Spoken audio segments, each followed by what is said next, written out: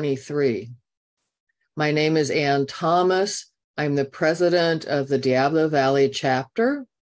Before we get started today, because this is a group conversation, um, we wanted to have a little bit of an idea about who's here today, um, what kind of technology that they have, and what kinds of things that they might be interested in.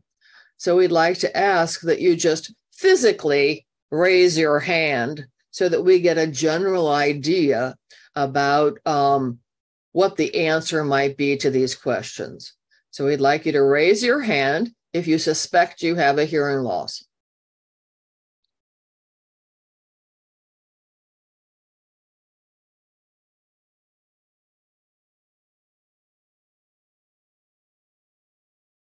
So, in relationship to this, if you know you have a hearing loss, we don't want you to raise your hand here. This is just if you think you have a hearing loss, but you haven't found out that you you have it yet, or you haven't had your hearing tested. You know, a lot of people hang out for a long time thinking, oh, gee, I'm not hearing as well as I thought I could um, before they go ahead and follow up and get their hearing tested. And the second question, which is the one most of us will answer, right, is that you know you have a hearing loss.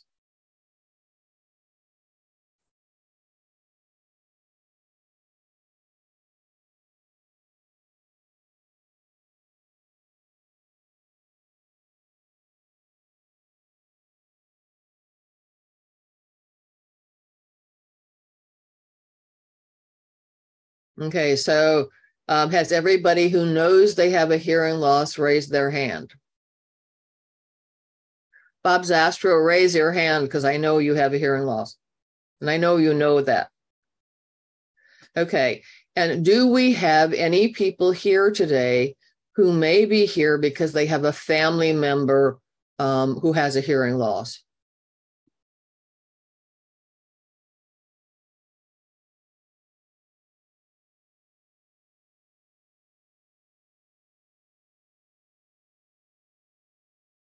Okay, so then almost everybody here knows they have a hearing loss or they have a family member with a hearing loss. So that's very helpful as the conversation moves forward. We didn't know what the technology level of everybody would be. And this is a slide that was created for a presentation about over the counter hearing aids but I also think it could be valuable in guiding our discussion. And I have it here, so I think I'm going to go ahead and, and present the slide. There are basically three different areas that people can have problems with in their hearing.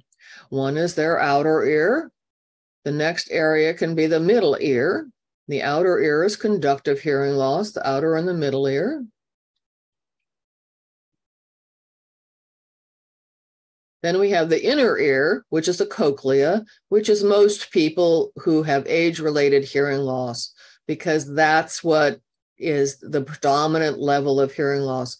And Claudia, I see you have your hand raised. Do you have a question? So you have to unmute yourself. Sorry, sorry, no, I'm going to lower my hand. I forgot okay, to do that. Perfect. Perfect. The inner ear. And then there's some people who have mixed hearing loss, which is inner and middle. And when you have that, you have frequently what's called otosclerosis, which these are tiny little bones in the middle ear. And what happens is they calcify. And so when they calcify, that means they get rigid.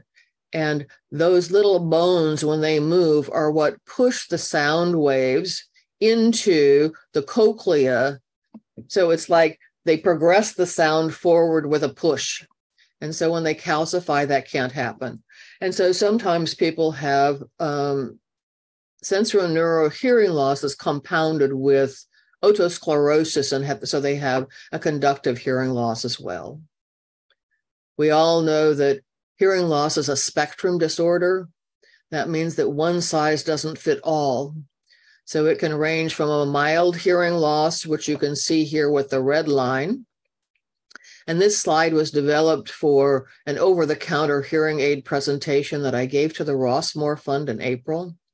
And so 70 deci, these are frequencies This is the volume. So 70 decibels is the borderline between moderate and severe. And so uh, severe, I think that uh, profound starts at like um, 95 or something like that.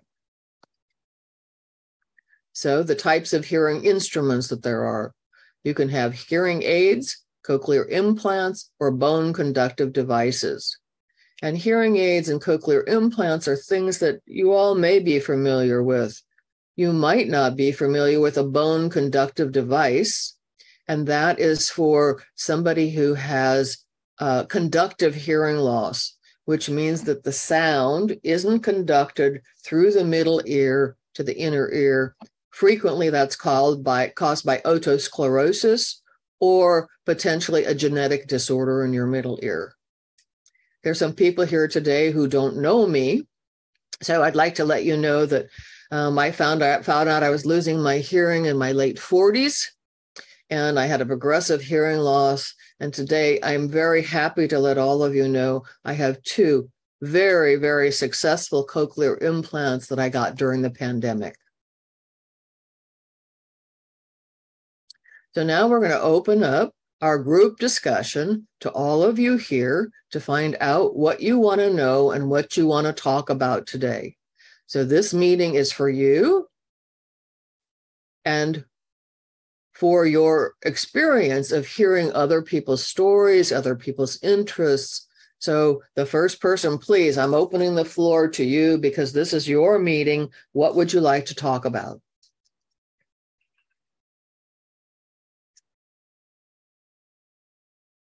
Somebody has to raise their hand. There we go. Carl Brown, what would you like to talk about? Okay. Um, I'm Carl Brown. I live in Rossmoor and I have some Signia hearing aids. Um, my problem is not so much hearing sounds, but being able to distinguish parts of speech. I mishear words and finding hearing aids that help correct this problem, I find extremely difficult. Uh, I got some high end hearing aids. They're okay. I went to somebody who I'd worked with before. They wanted $3,000 to tune them. Um, is are there any options available to me? I know I'm driving my wife absolutely crazy because I mishear things. I'm missing words. I miss fragments of conversations. And hearing is largely a guessing game. So, Carl, I would like to ask one question before other people comment. What level of hearing loss do you have? Uh, I would say reasonably mild. So, after this meeting, I'm going to send you. Oops, wait a minute. This diagram, and we mm-hmm. use it as a teaching tool in all of our outreach events. And I'd like you to take your audiogram that you received and oh, excuse me. Oh, I'm assuming I'm assuming that you ask for your hearing test after every time you visit the audiologist or hearing healthcare provider and you have your hearing tested. And if you have not, please do that. So I'll send you this audiogram in a single form, and I want you to mark on this audiogram exactly where the X's and O's are on the one from your provider. And if you have a problem, you can contact me. And C on the side here, see it says normal, mild, moderate, severe, and profound. So you can have an idea then of really where your hearing loss is. What you're describing doesn't sound like a normal situation that someone has with mild hearing loss. What you're saying is something that all of us experience hearing loss is only measured in the area of speech, doesn't include anything else. So when you have a hearing dysfunction, when something's happening with your hearing, it's affecting what you can understand in speech. I think generally, unless you have profound hearing loss, I think your hearing could be improved. Okay, so I'm going to quit talking and I see Carol Agate. Hi, Carol, how are you? Nice to see you. Um, Carol lives in Boston and we know each other from the HLAA convention and from other Yeah, communications very we've had. helpful to us. Um, do you have something to share with Carl? I, yeah, uh, Carl, I don't know whether you are familiar with aural rehabilitation, aural rehab, it's called. And um, there's somebody here who specializes in that, and a lot of members of our chapter go to him. I have not, but um, it um, it deals with word recognition. So whether you go on an ongoing basis and see him regularly, or just go for an evaluation, he might be of some help to you if you can find somebody in your area who does aural rehab. I don't know, Anne, do you uh, know about aural rehab in your area? We do not have any people who are really fostering it. So there's LACE online, there's several online aural rehabilitation um, programs, but other than that, we don't have anybody who we could refer someone to. But Carol, thanks for bringing that up. Um, because it's an it's a very important component. Um, Carl, I have another question to ask you. In your communication with your wife, and hi, I see her hair on the side of the screen. Hi, welcome. How far away are you trying to communicate to her from? Uh, sometimes just feet away. Okay. And Uh, the reason the reason I'm asking that is because if you have over a mild to moderate hearing loss, the mhm. effective range of hearing aids is only about six feet. And that really isn't very far. And nobody tells us that. It's if you raise your arm and the person you're talking to raises their arm, that's about six feet. So generally, if you're outside of that range, it can make it difficult. So here I see you have your hand up. Uh, yes, so uh, I have uh, a problem with uh, with uh, uh, uh, with discrimination. Uh, I had uh, I have a conductive hearing loss, but uh, I it's combined with the inner ear loss, and I had a stapedectomy very recently on my left ear, and uh, my hearing aids, of course, had to be adjusted after that. And now, with both hearing aids and the stapedectomy, uh, I can hear very well. But my discrimination in my left ear, where I had the stapedectomy, is very poor. So I'd be really interested in aural rehab because I really need help in uh, discrimination. Uh, I, I cannot tell the difference between, uh, you know, the the uh, between consonants. Consonants are really hard for me uh, to uh, to distinguish. Zohair, have you asked your doctor about um, prescribing that you have aural rehabilitation with a specialist? Because my understanding is that if your physician recommends it, that Medicare will pay for it. Uh, no, I have not, but uh, that is uh, something I'm going to do very soon. Okay, who has, and Carl, uh, you asked a question about um, reprogramming your hearing aids. So who have you been seeing? Well, I lost my hearing aids a number of years ago. And I went to get them replaced and I was quoted $8,000. I found that through my Medicare supplemental, I could get the cost of those down to 5,000, but I had to go through their program. And the audiologists that they have are okay, but the one I had been going to uh, was extremely good, and uh, he he closed his business. I've been to a couple of other audiologists and have not been particularly impressed. So Zohair goes, we have two audiologists that are members of our chapter. And when we met in person, would always come to our meeting.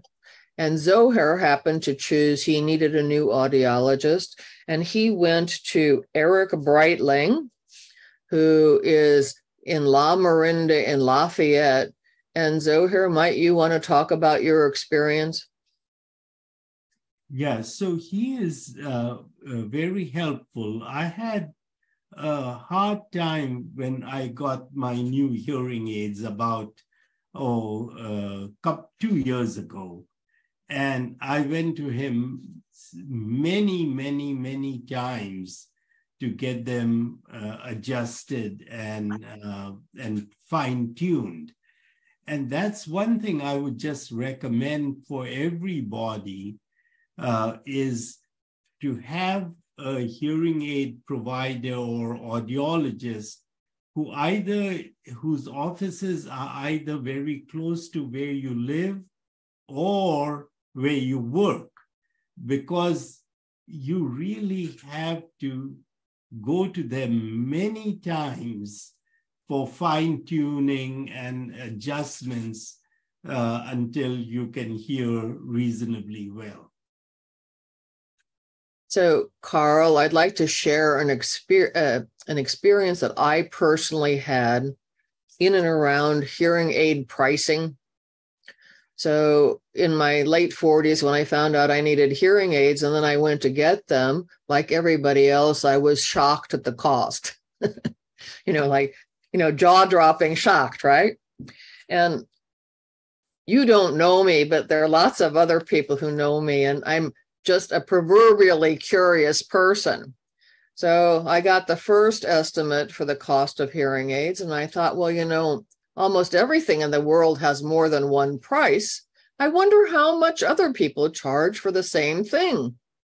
So I price checked the same hearing aid in four different um, practices, and I found as much as 500 plus different in price per aid.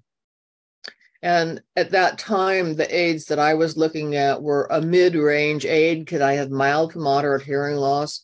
And the more progressive your hearing loss gets, unfortunately, tends to be the aids get more expensive because you want more premium aids.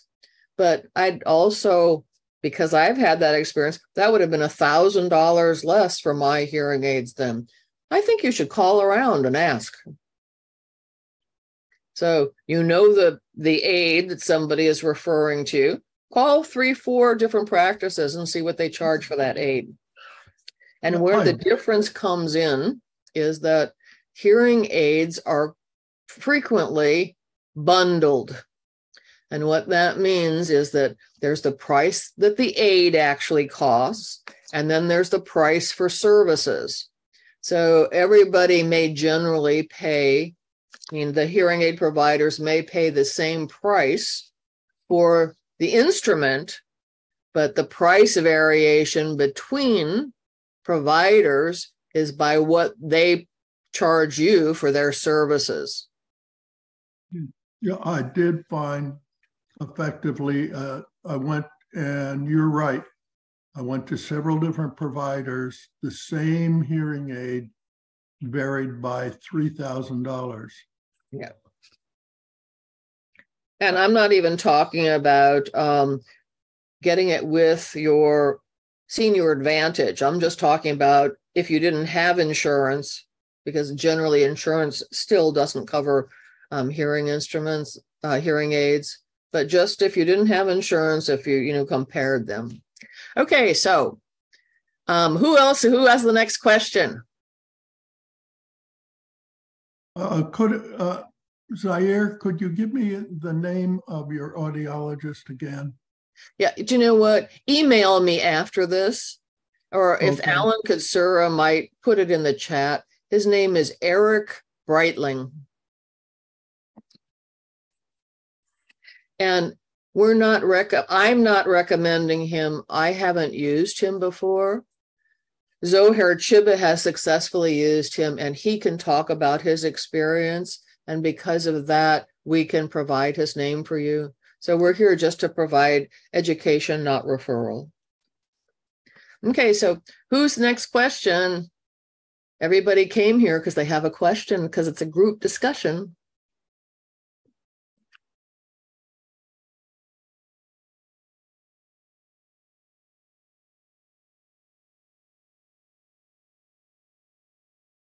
Carol Agate Carol. in Boston.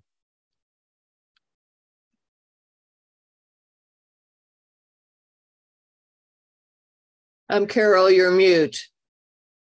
Mhm. I'm not sure just what I can ask about it since everybody, nobody else has a question. I will bring up the my bugaboo, which is Bluetooth. Um, actually, it's the interaction of Bluetooth and FM because I use Roger mics for a number of different things. I have different mics for different situations. And the limitations of Bluetooth are very frustrating because I never know what will go with what and what will link with what. But I understand that Roger mics are not Bluetooth, they're FM. So why, when I turn off the Bluetooth that connects my hearing aids to my uh, computer, does that affect whether I can then link my Roger mics?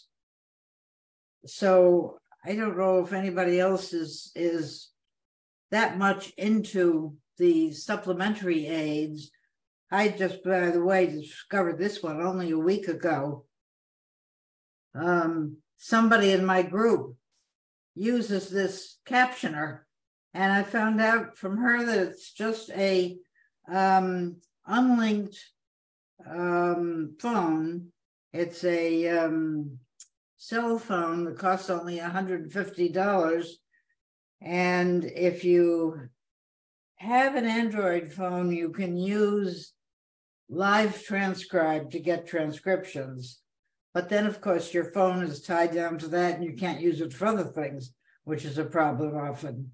Um, so the supplementary phone is helpful. And then I have an iPhone and I and Apple is just not really. What is this? The host is spotlighted. Oh, okay. Would you like to unmute your microphone to speak?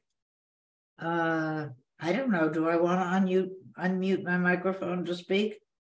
And Um, Carol, you were originally talking and you didn't have your microphone turned on. why? And so that was a message to you to turn your microphone on. You can Oh. ignore it now. Okay. Mhm. Uh, uh, so, you know, unfortunately, my question is really very situational because I find that, um, well, first place, if you have a phonak and you use myPhonak, are you finding it is very unreliable? That it sometimes shuts down the hearing aids? That um, it uh, sometimes I have to um, remove it and replace it. And just in general, how do you use my phone phonak? Zohair, do you have a solution to that? Okay, so Carol, I wrote down that you have three different solutions, three different questions. One is about using Roger devices and Bluetooth. One is about speech to text apps, and one is about using myPhonak, which is using the microphone on my understanding on your on your cell phone um, to augment speech in general. Did I get your three questions correctly? Uh, yeah, and I'm afraid they're sort of vague.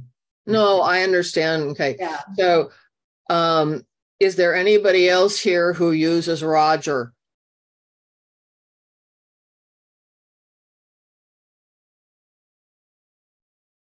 Jim, do you have Jim- problems with it? Jim does.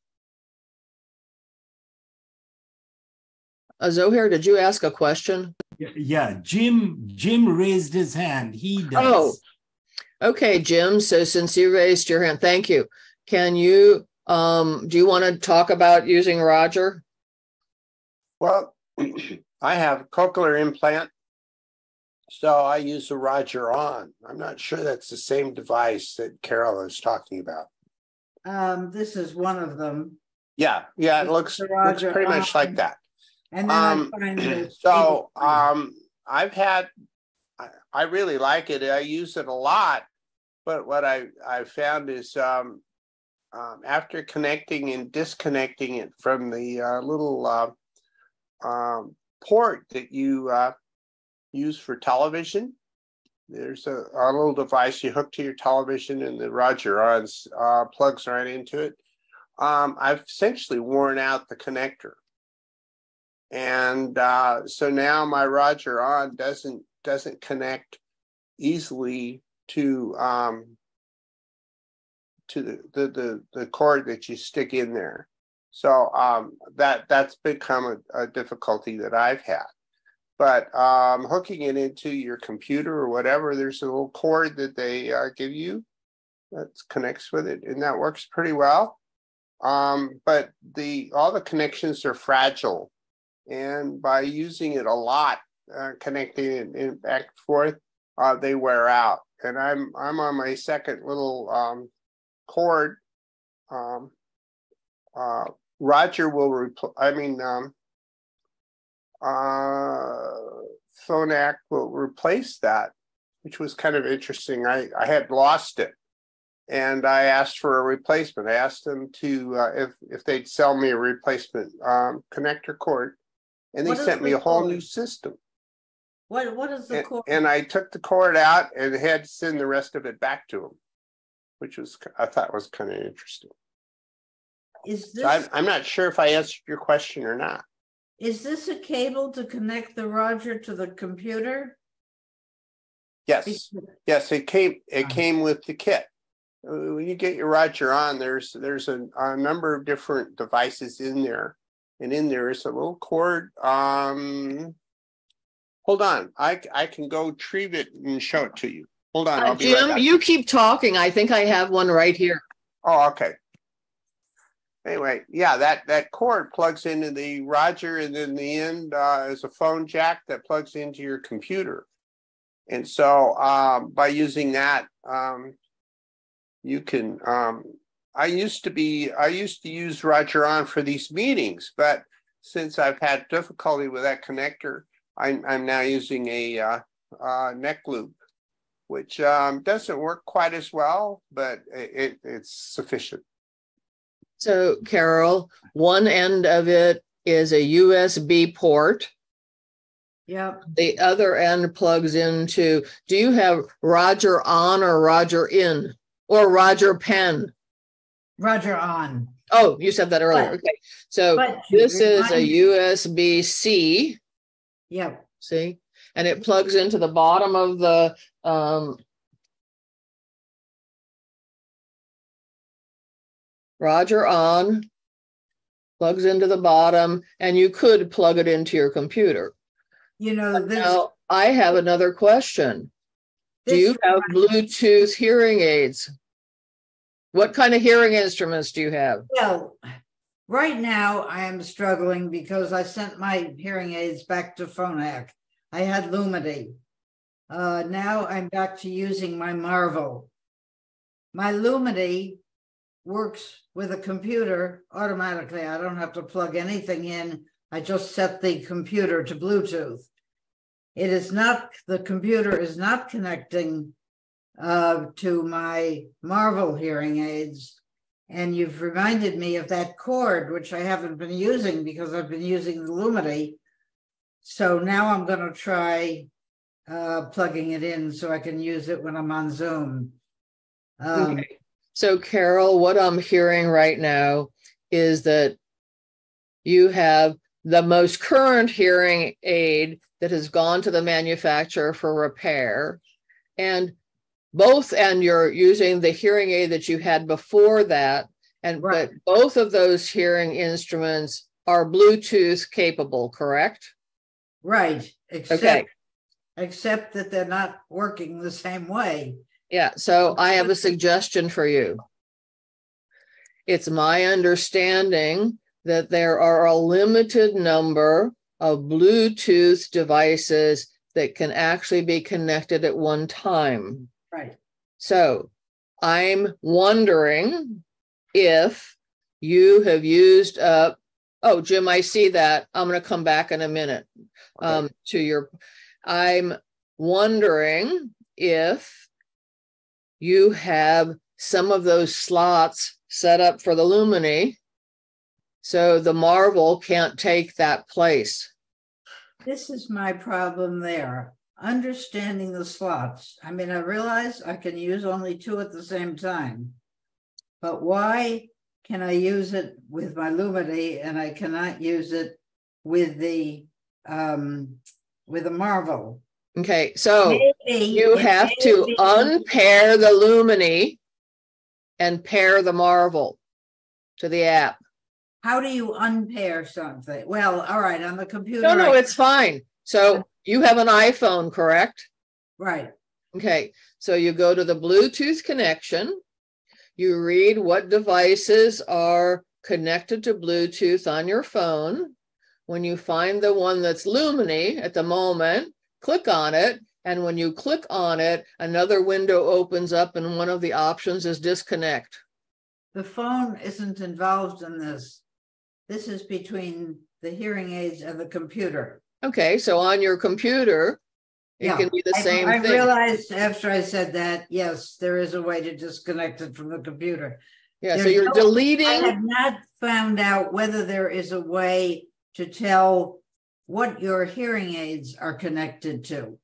How many devices are on the hearing aids? For example, I walked out today and I got the blip, blip, blip, blip, blip when you get out of range. I have no idea what's in range. What can you do to see on the hearing aids?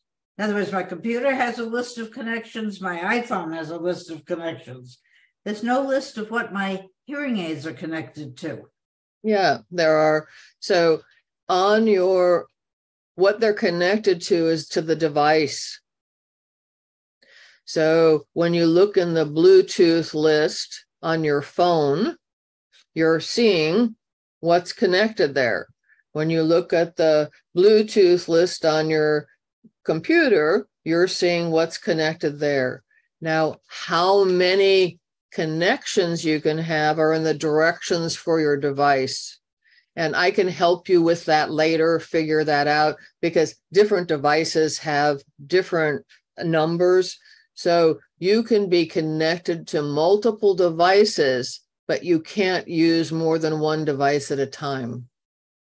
And how does that fit in with the Roger devices, which are not Bluetooth? Well, yeah, no, they're they're connected through um let me see how's the mic. So when you look at your app, when Roger is on and it's paired to your device, you should have um, a program for Roger. Do you have that? When the Roger is on, are you talking about the Roger on or? Yeah, the- sorry. It's hard, right? When you have, let's, let's, ch- I'll change it. When you have the Roger activated, Yeah, if you open the app on your phone, you should see that you have a Roger on program. all right, I've got the, my Roger mic and, and um, my Phonak are the two different apps. Which app are you talking about? So That's right. on mine, I have two different apps too. And on the Phonak app, it just gives you additional settings that you may choose to activate or not activate for the on. Most people, or a lot of people, the options in the Phonak app for the on are too complicated for them to really utilize. So if you use the app for um, the on in the um, oh, you don't have a CI, right? No, You only have you have hearing both hearing aids, right? right. Okay, so then you only have the Phonak app, correct? Um, I only have a Phonak app only as opposed to what? Oh, um, see, I have two apps. I have the Yeah. Cochlear, uh, the A Advanced Bionics app, and I also have the Phonak app. So that's con that's I confused that. I'm sorry. Yeah, I mean, my two. Okay, so in your Phonak app, the place that I could see that could be problematic yeah. is is the Phonak app currently connected and set up for your your Luminity, or is it set up for your Marvel?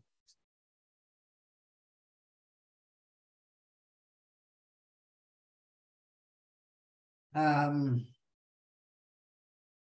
All right, I don't have. I haven't done anything about connecting the app to the Marvel because it's only for a week and I don't know what I would need it for. But what I would like it for is the computer. Like right now, my computer can be heard by anybody who walks by my door. Yeah, Uh, so the The, the, the piece you need to understand here is, and it's for all of us, doesn't matter where we are. This is a wonderful piece that you're, a question you're bringing up here. When you have an app on your phone, that app is paired for it to work. The app is paired to something. So you said that you had the Lumini and it was working great. And so I'm making an assumption that you had it paired to the Phonak app. So when it's paired and connected to the Phonak app, that means it's giving you the programs for that hearing aid, those models of hearing aids. If you start wearing a previous version of those models of hearing aids, the app on your phone more than likely is not paired to them. So you have to delete the app to the Lumity and then reconnect it to the Marvel. Does that make sense? Um. Well, I do have books on my phone. I am able to link the book to the Marvel hearing aids. In other words, I'm now able to listen to the book, which is why I can't understand why I cannot listen to the computer. All right, so is what you're saying that you can hear audio from your cell phone in your Marvel hearing aids? Right. Okay.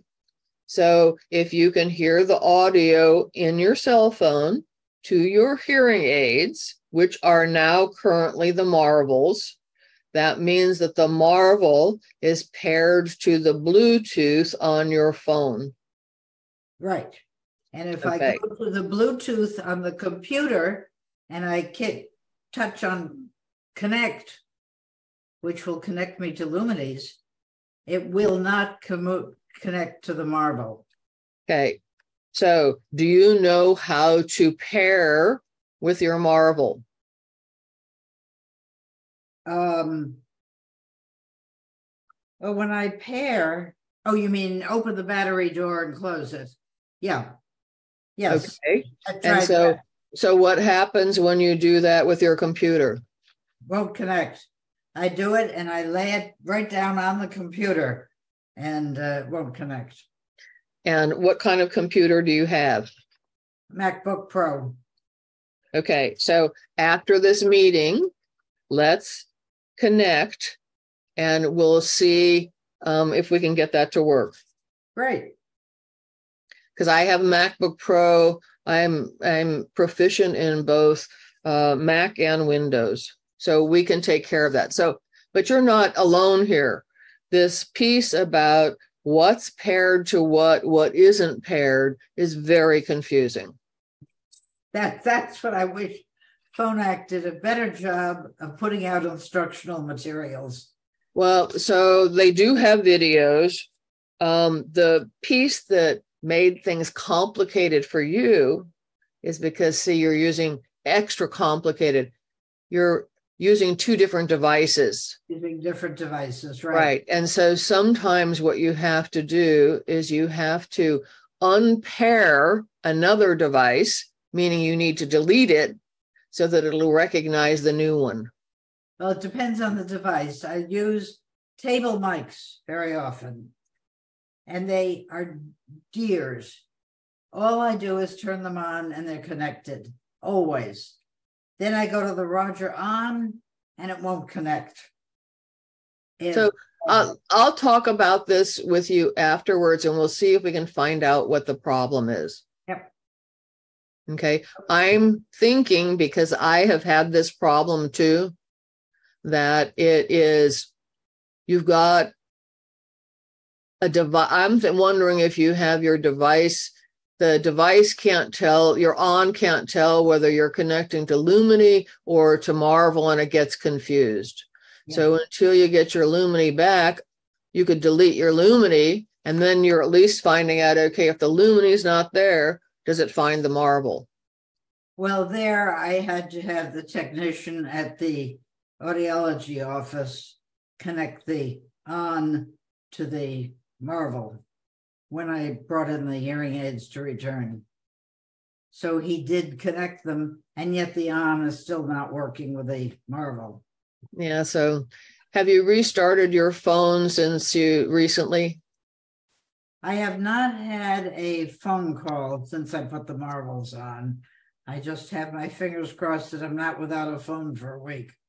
Yeah, no, if you change stuff like that, you really need to restart your phone. Yeah, well, I do that weekly because InnoCaption said that you have to restart it every week. I don't know if you ever heard that from, do you use InnoCaption? No. And you haven't had problems with it? Nothing out of the ordinary. Yeah. Okay, so we so we've talked about this problem of Roger, the difference between connecting hearing assistive technology to your phone, to your uh, computer, and Jim Schroeder decided to work around that. And Jim is connecting his to something different than what I'm connecting. So Jim, can you show can you show the cable that you're using? Okay, um. Yeah, I'm, the, the, the cable that I have is a little different, let's see here. A little different than the one you showed, Ann. This one end is got the, the USB-C connector like yours does, but the other end has a phone jack. So this connects into the, uh, the, the phone connection of your, on your computer. So you just plug that into your computer and then you use them, um, the Roger, then, um, will connect um, to your uh, computer. And I use that because, um, for the, the, the very reason that, um, you stated, it's, it's hard if you have a, a Bluetooth connection to say your phone to uh, disconnect it from your phone and reconnect it to your computer is really kind of um, labor, uh, labor intensive because you actually have to uh, um, uh, forget. You have to go into your phone and forget the connection on your phone before it will reconnect to your computer. And then, so then you've got to repair them each time. And that's, um, I don't like to have to do that. So I just have my, my, uh, my CI connected to my phone and that stays connected all the time, um, whether I'm using it or not. I mean, uh, obviously it disconnects when you're not using it, but the uh, um, the pairing is still there. Um, so anyway, uh, I use this connector and it works pretty well. Uh, it's just that after a while, uh, this part, see, can't see myself. I don't. Um, this part here, the phone jack, uh, it wears out, and then it, it, it you've got to wiggle it to, to make it connect. And so um, apparently, uh, I've looked around. I can't find these connectors anywhere. Uh, the only place I can get them is from Phonak, and they will replace it. But um, like I said, they sent me a whole new kit, and I took the connector out and sent the thing back to them. They're perfectly fine with that. Why they can't just send you a new uh, cable, I don't, I don't understand. But they have their procedures, and they're kind of weird that way. Anyway, that, that's all I really had to say about that. Jim, have you ever, so you don't have, so you have a USB C that plugs into here. Have you ever tried to plug in the regular USB to your computer to see if you notice a difference between that and plugging it in the audio port? No, I don't think I've ever tried to do that. Um, so I have both. I'm going to try that after we get off, and I'll let people know if I notice anything. And maybe Jim, we can connect about that. I think that's a. I think that's really an interesting project. Okay. Okay, so Carol, they did that. We talked about. You mentioned speech to text apps. Um, well, I was just showing you this because I just discovered it a week ago and it's been fabulous. This Okay. is wonderful backup for meetings. So if anyone is interested. um, So people who are members of the DV chapter are very familiar with speech to text apps because I was one of the people who was one of the first people with Ava. And Ava is still my favorite speech to text app. It is the most robust of all of the apps. And the reason it is the most robust is it is the only one that I'm familiar with that you can actually have a conversation with different people and each person who's talking is identified in the app. And how I'll explain that is I have Ava on my app, on my phone. Carol, you have Ava on your phone. We connect to an Ava conversation, and you can do it today very easily with if you're in person, you just lay the phones on top of each other and it has a QR code. Then within the conversation, you have a profile. I have a profile. When you talk, it shows up in one color, just like the new InnoCaption feature. And when I talk, it shows up in something else. So this was especially valuable during the pandemic when you had to have six feet apart from each other. So the importance of the speech to text apps is the closer you are to the microphone, the more accurate it is. And I like to remind everybody the microphones are on the bottom of your phone, and the tendency is to hold your phone like this so you're covering up the microphones. So rotate the phone so the microphones are on the top and you can cock it out to the person who you want to speak with. So that's my favorite of them. It works on your computer. It works um, as a floating screen on your phone now as well. So it can be floating around there, and anytime you want it, you just touch it. Okay, used- so I used it yesterday in a restaurant and I kept getting words from the adjacent table. Yeah. Pieces of their conversation would, So- So you can plug a microphone, a special microphone into your phone and hand that microphone at, at a restaurant to the person who you'd like to understand talking. Or if it were Ava, they would just connect on their phone. Hmm. Okay, so the next person I think is Carl Brown. Did you have Um, another question, uh, comment, first- Carl? First, I want to make a comment on Bluetooth. If you, if all of your devices are not the latest version or version five or better, there is a limitation of seven devices and often each hearing aid will be a separate connection. Uh, that's just for your information, which sort of confirms what you were saying about the limitation of Bluetooth. Uh, the, what I'm wondering about is insurance for loss of hearing aids. I lost one the other day, went all over uh, looking for it. Eventually, what I did was turning the one I had off and using Bluetooth to at least find that it was somewhere in the area.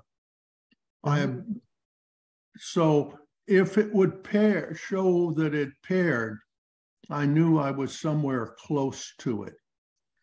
And as it turned out, I still had trouble. It was about a 30 foot circle. And uh, I talked to one of the security guards who had some nice young eyes and found it. But I was really lucky. Uh, it has brought up the concern of insurance for hearing loss, uh, aid loss, of loss of hearing aids. Uh, and other, I've also found out that there are Bluetooth apps that will actually show you the direction that the Bluetooth signal is coming from. Does Those anybody great know about tips. in- insurance for, for hearing aid loss? There are, there are hearing instrument, hearing aid insurance companies. You can go ahead and Google them. A piece that you might want to do is for your insurance that you have for your house, your car, whatever. Ask if you can have a rider. good idea. Okay, thank you. Uh, Claudia, hi, good morning. Hi, good to see you. and great, great conversation here. Yes, using and interfacing with all of these different technologies is uh, quite challenging. But I just want to make a comment following up on what Jim was saying about having to pair and unpair. Um, I'm using the Bluetooth. I'm not having that problem. I'm using the Bluetooth on the computer to understand this Zoom call, and it's going straight into my hearing aids. I have my iPhone right next to me here, and it's also on Bluetooth uh, connected to my hearing aids. And I, it, there's no problem. It's not unpairing or disconnecting. I don't know what would happen if the phone rings, whether that would uh, screw something up. But so far, I have it paired to my iPhone and to the computer at the same time. So who knows? Maybe every person's setup is, and situation is different. So unfortunately, everybody's situation tends to be different because we have different instruments. And I'm delighted that what you have going on right now is working for you um, without confusion. And I believe that in your Bluetooth connections, if you have it connected to your phone, that the a phone call always takes precedent. Now, do Uh-huh. you have your hearing aids connected to your phone audio as well as for phone calls? Um, I'm not sure I understand that question. Um, Okay, so when you're using the Bluetooth to connect to your instrument and you Yes. get a phone call and you answer it and goes right to the middle of your head, Yes, that's that you have your hearing, and I know you have a hearing aid, hearing aid connected to the phone call capability of your smartphone. yes, You can also have your hearing aid connected to other audio on your cell phone. So let's say you wanted to hear, listen to music. Let's say you wanted to um, listen to an audio book, any other audio, a YouTube video, you wanted to hear the audio. It's a setting within your phone to allow that to happen. yes. So you have to Um, turn that on. I don't remember ever turning it on, but if I listen to an audiobook, I yes, it comes through Bluetooth. If I listen to music on Spotify, it comes On your phone. Bluetooth. on my phone. Oh, perfect. Then it's on. Yeah, Then it's okay. on. Yeah, That's I think wonderful. The Bluetooth is the greatest invention. That's been for me a huge game changer. And I don't need a separate device to plug into the computer or anything like that. Um, yeah. Kathy Rothschild, hi. Hi. Um, me mute myself. Okay. Um, hold on. I have, I'm talking through two things. I have my phone and my um.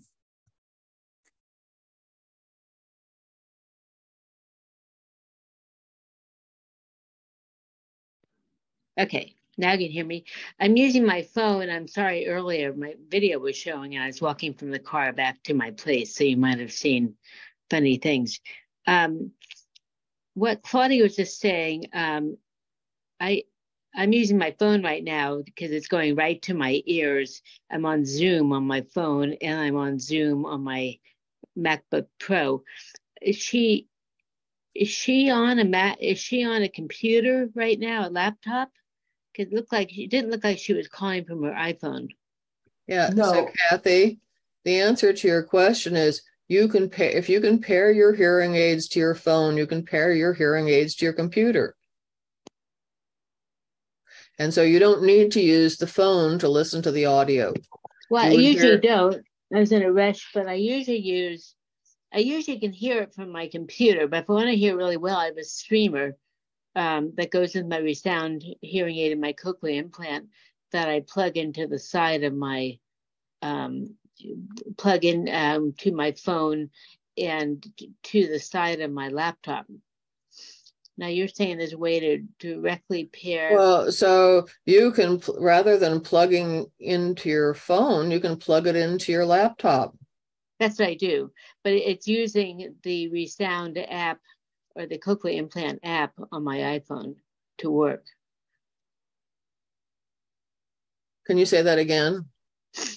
So Kathy, because you have for everybody here, so because she has the mini mic, I happen to know that she has a Cochlear Americas implant, So do I. right? Okay, so that's a Cochlear Americas implant, and you have resound hearing aids. Correct. Okay.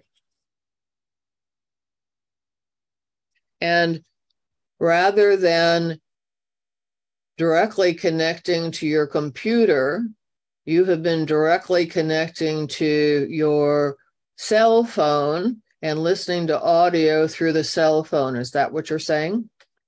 Yes, with normally I don't call into the Zoom meeting on my cell phone. Normally I just uh, um, get it from my Z- laptop. Today's unusual, but um, So am, are we hearing that today it didn't work? I'm not sure what no, question no, I was now. just re- I was rushing back from somewhere. Normally, I, I can actually hear the laptop without using anything. It's loud enough, but I wanted to hear extra clear today. Um, but you're saying rather than use this for my laptop, I could be pairing my hearing aids right to my Mac. Well, See, I think you need the mini mic to do that. Yes, right. And so you would pair the mini mic. You know what? I'll look into that for you. Okay. You you know everything, Anne. You're amazing. Um, Well, it's only because I was born with a question mark on my forehead. And so you ask a question like right now, and all of a sudden I realized, well, maybe I maybe I'm I don't know about that. So then I go and look it up. okay. That's how Let I find this um, stuff out. The other question was with Ava. I've been using Otter. O- Otter, because someone really recommended that in my um Redwood City uh, chapter that I used to be in. Um, the problem is I can't. I need this cochlear implant when I go to places, especially loud places.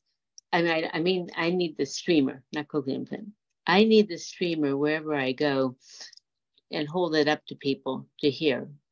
And someone said that's wrong. I shouldn't be dependent on that. So I have an appointment this week to get a new mapping to see if there's something wrong that I'm so dependent on this. But I was using it with Otter, and I can't with Otter, which is like Ava. You, cannot use both at the same time. If I use Otter, I can't use the streamer. Is that true with Ava? Do you think? So I had a similar situation recently, and I don't have the same devices that you have. And I need to investigate that for myself. And so at the same time, I'll investigate it for you. So I had the experience of the microphone, my microphones on my implants got turned down when I was using Ava, which is what you're talking about. And I think there may be a way to turn that off. And so I know all of them as well. So that's definitely going to be one of my, if it's not absolutely there, one of my suggestions with them. Um, a way for us to be able to do that. Now, this place is generally when I need to use a speech to text app, it's in a place where I can't understand. And so I'm opting to use speech to text rather than not understanding audio. And I don't have that very often. Um, it's, it's, we live uncertain lives, you know, we never know when we're going to understand and when we aren't. But I will check into this part for you about um, that when you use the speech to text app, the microphones for your instruments are turned off. Correct. Mhm. Um, also with with Ava with Otter, you get like only an hour free, and then you have to buy time, pay so much a month. Is Ava the same thing? Well, so so Otter, when they came out, Otter offered this huge amount of time. And actually, it's quite amusing because what happened is they found it wasn't sustainable. So Otter has really revised the amount of um, free uh, speech to text you can have. And Ava's, you have more per month, but that's limited to 40 minutes at a time for free. So if you're in a conversation that 40 minutes expires, you just restart it. Or you purchase the, what is it, $10 a month now or something like that for the pro plan. Mm-hmm. So the reality is, you know, unless you're a government agency and you're getting money from the government, which is what all of the telephone uh, captioning apps do, you have to make money to survive. So they have to charge. So, Kathy, was there anything else that you? No, you- that's it. Thank you. Uh huh. Jim Schroeder, I think you're next. Okay, I have a, a, a, a different question, sort of a different subject. So I, I'm, if you want to switch gears or not, you can choose not to answer this. But my question is really related to ADA and, and uh, self-advocacy. And it relates to, uh, um, I, I'm aware that, you know, the, uh, the uh, ADA uh, titles, different titles, all government agencies and government meetings and things are are uh, required, and they have to have assisting listening systems for you to use. But my question is, what about other other groups? Who who is really required to have a uh, assisted living uh, listening system? For example, the the local PTA or um, your uh, different uh, uh, service groups like uh, the Rotary Club or, or somebody like that. Are any of those groups actually required to uh, provide assisted uh, listening systems? So, for those of you who don't know, um, I also sit on uh, the National HLAA Get in the Hearing Loop Committee, and I'm very knowledgeable about the ADA. And we actually published this Get in the Hearing Loop guide and handbook.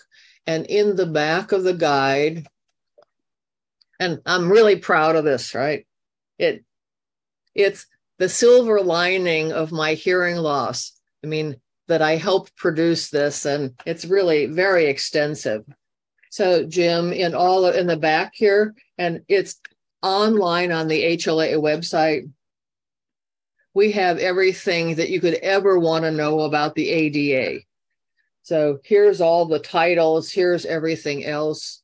Um, in a nutshell, so this is where you could look for the resources. In a nutshell, there are four major titles of the ADA employment, state and city government, um, local um, entities like hotels and everything like that, and then a miscellaneous category. The ADA, in regards to hearing loss, says that we need to have equal understanding as everybody else, and that they are to provide auxiliary aids and services to accomplish that. If they are using a public address system, then they're required to provide an assistive listening system. Okay, so if they're using a P, oh, and in 2010, they there there are actually two parts of the ADA. There's actually the law, which is the ADA itself, but most of the time people don't really refer to the ADA, they refer to what's called the ADA standards. And that's the interpretation of what the law actually di- does. And the department, um, the, the access board is the one that revises that all the time. And the last major revision was in 2010.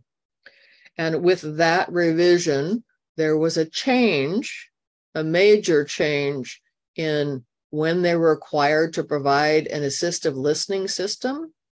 And it used to also include the number of seats, used to include whether it was permanently installed. That's not true any longer. So, any meeting that you go to that they're using a public address system, they're required to have an assistive listening system. Now, we all know that most places are not following that law, and it's our job to ask for communication access all the time. And if it's not about how well you hear on your best day and in the best situation, it's about how well you hear under the worst circumstances. Because if you're thinking about your best day and it's not your best day and it's everything the worst thing that you can think of and you haven't asked for accommodations then you get there and it's too late to get them so jim and the pta they meet regularly correct I, I assume so. I, oh, I just so you're not wanting to attend a PTA. Oh, excuse me. Are you wanting to attend a PTA meeting? Uh, no, I, I just kind of that just kind of pulled out of the top of my head as an example of some some um is back when I had small children, uh my sense was PTAs were were really just a, a group of people that had kind of thrown things together and they were making it up as they go along. And uh, so I would think that that would be a group that would be least capable of providing um, some sort of assistant li- listening system um, without a whole lot of guidance. Yeah. Anyway, So uh, I, I so- have no, I'm not planning to attend a PTA. Yeah, So my experience is that most PTA meetings are held in schools. Yes. So you have to have some place to hold it, right? Are held in schools.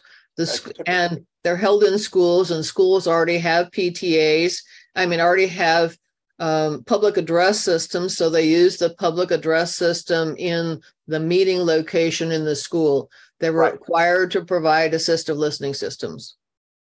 Yeah, but they typically don't. So you need to ask. Right. And we need to be really direct. I have a Yeah. disability. The disability is hearing loss. I need communication access to participate. What do you ha- what do you have? Start there and if it's generally it could be a place like deer in the headlights, duh, what's that, right? And it's over and over again. We had an experience this year that gosh, I think it was seven years ago, we extensively advocated with the Lafayette Community Foundation for their yearly event. Um, it's a senior aging event. They weren't providing any accommodations to anybody. Um, got them to provide captions. They were providing captions every year after that. The pandemic happened. We didn't participate that one year. And then I was on their committee for a while. We didn't participate. And we participated this year and they had the event with no captions. Over and over again, keep doing the same thing.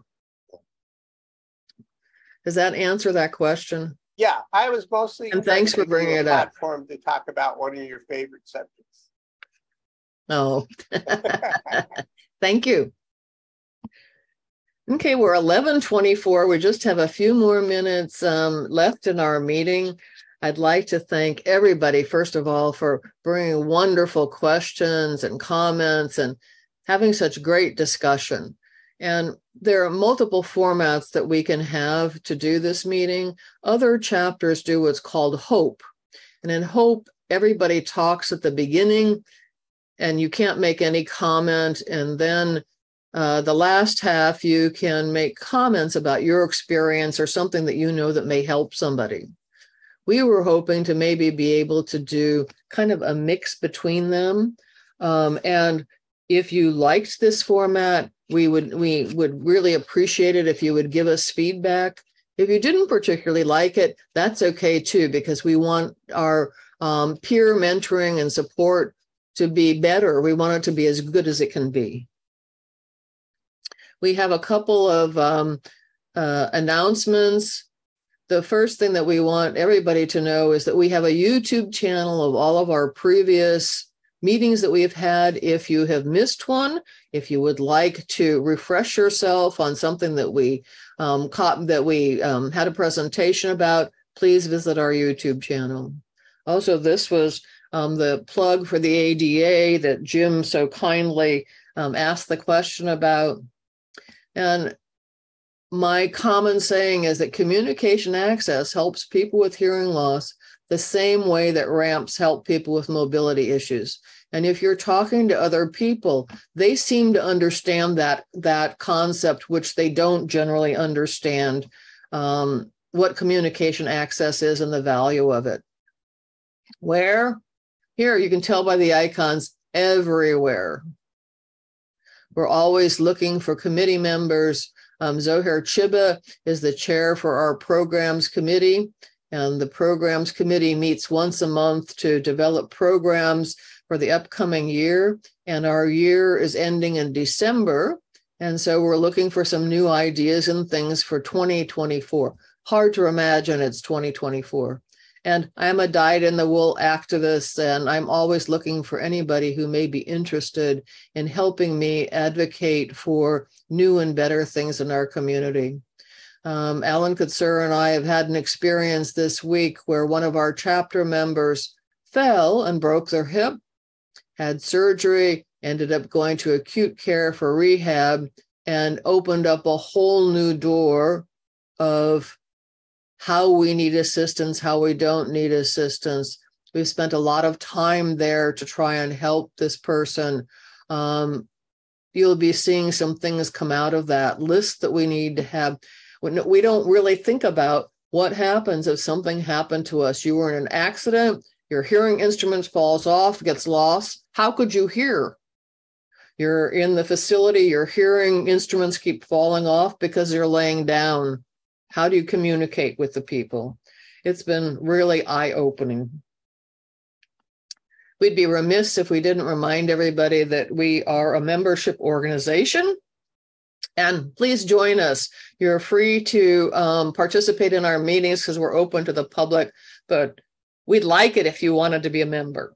You can do that on our website, you see the link that says membership, just click on that and it should look like this. And we now, I think, even have a QR code. You can just scan it.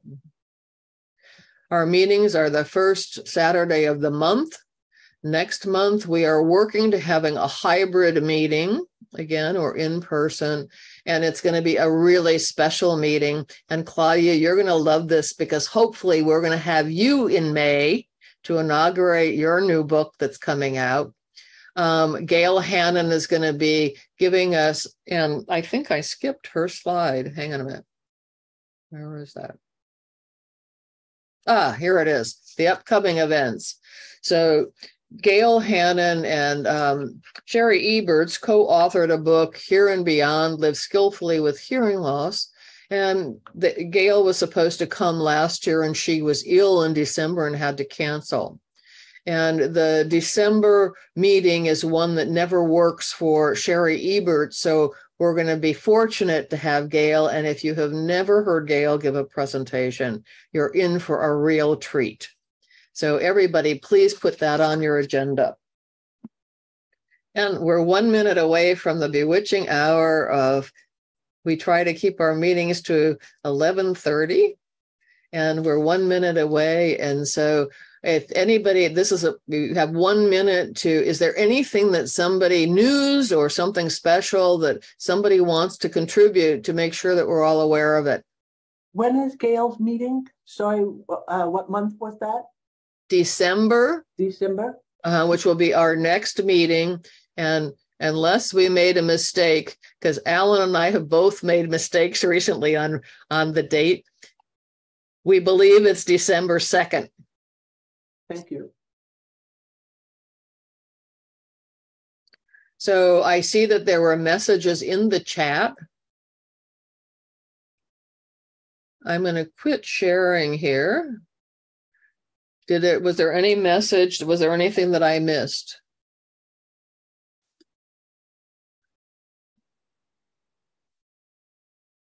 Was there any question that wasn't answered in the chat? Is everybody happy that we had this meeting today like this in this format? So, Kathy, I saw you say yes. Thanks. Okay, well, Thanksgiving is coming up. It's one of my favorite times of the year. Um, I reflect on all of the wonderful good things that happened in the year since last Thanksgiving. And one year I even had a, a gratitude tree. And I had cards that everybody could write down what they were grateful for in the year before. It was really a fun thing to do. I wish you and your families a very happy and fruitful and full Thanksgiving. And I look forward, we look forward to seeing all of you in December for Gael Hannan. Have a nice weekend. And we'd like to thank our captioner today and the state of California with the RCC captions to for providing cap- captions